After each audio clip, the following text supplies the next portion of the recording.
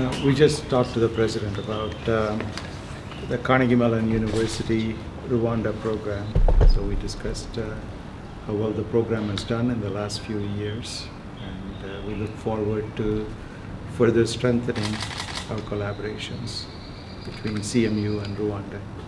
We made a major announcement on Monday about the MasterCard Foundation support for students from sub-Saharan Africa to come here. And of course, at least uh, 40% or so of that uh, group of students will be Rwandan students. So over the next uh, seven years, we'll have more than 125 students benefit from this. Um, and CMU is one of the few, very few major research universities in the world to offer programs at the master's level in engineering in sub-Saharan Africa. So it's a unique model, and we talked about uh, how we can uh, potentially um, uh, not just grow the model, but also uh, make sure that the rest of the world knows about how well this is doing, and it will benefit Rwanda. byagaragaye ko abanyeshuri abamaze gusohoka muri kaminuza cyane cyane bariya basohotsemo mbere abo master of science in information technology ko bakora ibikorwa byiza hanze hano ari za companies bakoramo ari za IT ari za institution ari abikorera ari abakomeje amasomo yabo muri za PhD muri kaminuza zikomeye ku isi ndetse hari n'abandi batanga no gufasha mu kwigisha muri kaminuza zacu z'u Rwanda.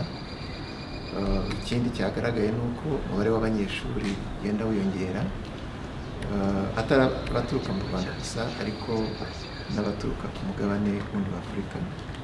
Nk'urugero iyo tureba uyu munsi mu bikorwa byo gushaka abanyeshuri baza gutangira umwaka w'amasomo utaha uyu munsi abamaze gusaba baraturuka mu bihugu birenze cumi na bitatu. Urwo ni urugero rwiza. Uh, tukabona yuko na hariya partnership yazanyemo iriya grant yo muri mastercard foundation izafasha kuko hari n'abandi bifuzaga kwiga baturutse ku mpande zitandukanye za afurika ariko bakajya kubera ubushobozi bwa amikoro amafaranga. Turabona ko rero ikintu kiriya nanone kije kuzafasha gutuma university igira abanyeshuri baturutse mu mpande uh, zitandukanye za afurika bityo koko ikarushaho kuba in african center of excellence uh, yubatswe na kandi university ku bufatanye na leta y'u rwanda. Hari n'ibindi bikorwa rero si ibyo kwigisha gusa hari no gushinga centre y'ubushakashatsi no guhanga udushya izagira uruhare rufatika muri ya proje ngari ya innovation city.